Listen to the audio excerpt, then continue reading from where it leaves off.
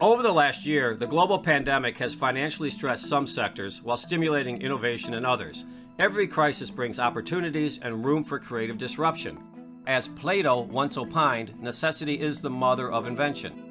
This particular disruption was unique due to limiting human interaction for an extended period of time. Sectors which rely on aggregation of people, such as entertainment, dining and leisure, car rentals, health clubs, and event planners, were significantly disrupted and financially challenged. In some of these instances, necessity led to rapid evolution of virtual experiences, reinventing the dining out experience, and moving the health club experience in home.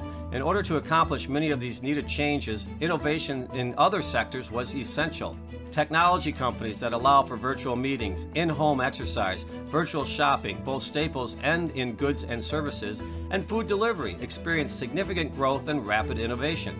Prior to the global pandemic, many of these technological innovations were in existence. However, due to necessity, the evolution and implementation of these innovations created opportunities.